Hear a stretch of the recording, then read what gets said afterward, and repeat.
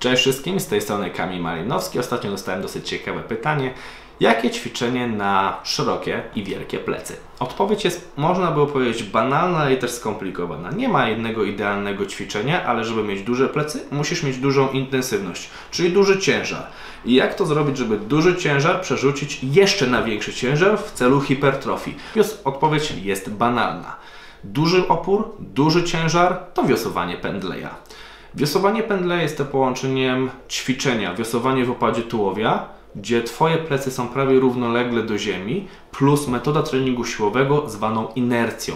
Może bardziej pójdźmy nie jak wykonać wiosowanie pendleja, bo to możecie zobaczyć sobie na miliardach różnych materiałów na YouTubie. Czym jest właśnie ta metoda pendleja, czyli inercja, którą wykorzystał z zaawansowanych metod siłowych. Metody nie powinna wykonywać przede wszystkim osoba początkująca, bo tam masz bardzo duży ciężar. Średnio zaawansowani i jak już zaawansowani. Metoda polega na tym, że przy każdym odłożeniu sztangi w fazie ekscentrycznej odkładasz w zupełności sztangę na około 2 sekundy.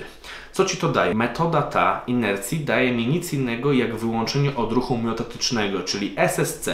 E, skurcz, rozkurcz mięśniowo-ścięgnisty, czyli Stretch Shortening Cycle pokonujesz martwy punkt każdego powtórzenia. Odłożyłeś ciężar na 2 sekundy, wyłączyłeś odruch SSC, czyli miotatyczny i działasz w czystej koncentryce na zasadzie takiej eksplozji. Zobaczysz, że każde powtórzenie z dużym ciężarem będzie naprawdę ciężkie. I to są właśnie metody bardziej średnio zaawansowane i zaawansowane.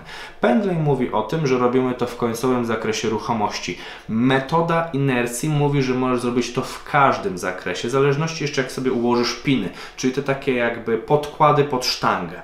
Czy to w przysiadzie możesz zrobić w początkowym, w połowicznym zakresie ruchomości, bądź też w końcowym. To Ty dobierasz którym czujesz, że masz większe rezerwy do wypracowania. Jest to jedna z ciekawszych metod rozwoju właśnie siły, co wpłynie na hipertrofię funkcjonalną albo też hipertrofię tą metaboliczną.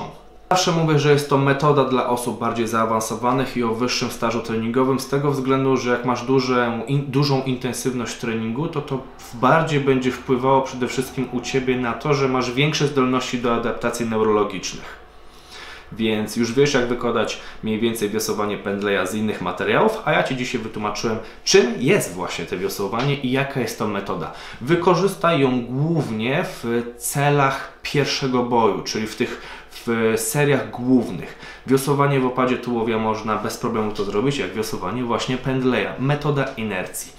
Mam nadzieję, że wszystko zrozumiałeś z tego materiału.